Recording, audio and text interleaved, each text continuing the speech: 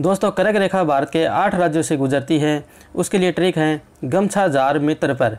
गै से हो जाएगा गुजरात मै से हो जाएगा मध्य प्रदेश छा से हो जाएगा छत्तीसगढ़, झार से हो जाएगा झारखंड, मी से हो जाएगा मिजोरम, त्रे से हो जाएगा त्रिपुरा, पै से हो जाएगा पश्चिम बंगाल रह से हो जाएगा राजस्थान।